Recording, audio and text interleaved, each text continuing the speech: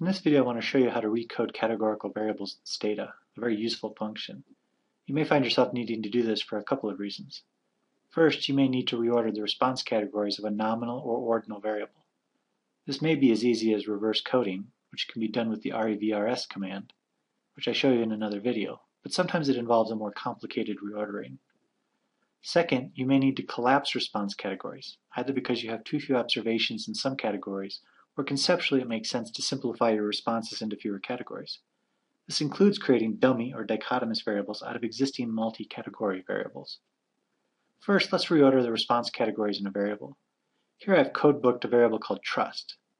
Given the name, one might assume that as one goes up in value that the level of trust increases. You can see that this is not the case. The values currently go from the most trust to the least and then depends, which conceptually would seem to belong in the middle. To reorder these categories, you'd start by going to the Data menu, Create or Change Data, Other Variable Transformation Commands, Recode Categorical Variable. In the first window, you type the name of the variable you wish to recode, in this case trust. In the second field, you input your rules for recoding. If I click on the drop-down, you'll see some examples of these rules. Better yet, if I click on the Help menu, we can see what these formats actually mean. So you can see that pound equals pound, an example would be 3 equals 1, meaning 3 is recoded to the value of 1. Pound space pound equals pound. An example would be 2 and missing now equal 9. Or pound slash pound equals pound, 1 slash 5 equals 4, meaning 1 through 5 are now recoded to a value of 4, and so on. Over time, these formats will become quite familiar to you. In this case, I'm going to have a value of 1 be recoded as 3, and I'm also going to include the value label. And you can do that by just simply spacing and then in quotes, inserting value label, parenthesis. Next, I'm going to have 2 equal 1. So you can't be too careful, will now be valued as a 1. Now again, I'll include the value label. And finally, in parentheses, 3 equals 2 depends. Now I'll click on the Options tab and instead of replacing the existing variable, which is the default, I want to generate new variables.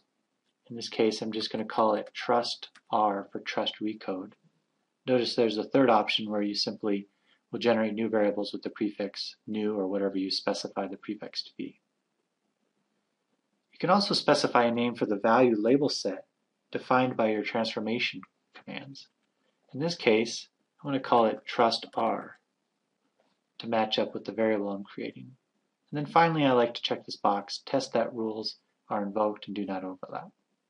Go ahead and hit OK. You can see it's a rather complicated code, not one you would probably remember, so it's easier to go through the menu system. But now, with that variable having been created, I'm going to codebook the new variable, trust R, and now you can see that it's in the intuitive order that one might expect. So that's how you do a more complicated reordering of categories. Let's say you have a variable like this, health. It's an ordinal variable an intuitive direction. Let's say you want to dichotomize this variable and create a new one called diminished health or dim health. And you want a value of 1 to equal poor or fair health and a value of 0 for anybody who says good, very good, or excellent. So how would I do that? First, you'd go to Data, Create or Change Data, other variable transformation commands, recode categorical variable. The variable I'm going to be recoding is health. Now keep in mind that I'm going to call the new variable dim health for diminished health. In that case, I want 0 or 1 in health to be the new 1. So what I'll do is I'm simply going to go 0 space 1 equals 1 quotes diminished health. Parenthesis. Now I want anything 2 through 4, so 2 slash 4 equals 0. We'll call those folks healthy.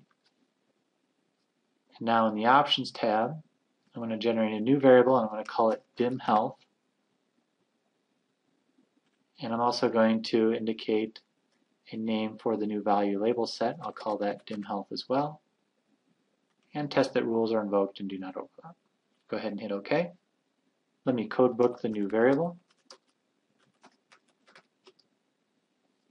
And there you can see I still have 10 missing that were missing in the original health variable. And now people who have a value of 1, undiminished health, there's 532, corresponding to the number of people who had poor or fair health in the health question, and the 3,842 people who had good, very good, or excellent health are now valued at 0. Finally, I'd like to show you a convenient command for changing a categorical variable, either ordinal or nominal, into a set of dummies. It's actually quite simple. In the command window, you'd simply type tabulate and then the name of your categorical variable. Here I've codebooked ethnic 4 so you can see it, so I'll just go ahead and use that. And then comma, gen, and then parentheses, again the name of the variable. Parenthesis, and hit return. And if I scroll down in my variable window, you'll see what happened is it created ethnic 4.1, ethnic 4.2, ethnic 4.3, and ethnic 4.4, essentially creating a dummy for each one of those categories.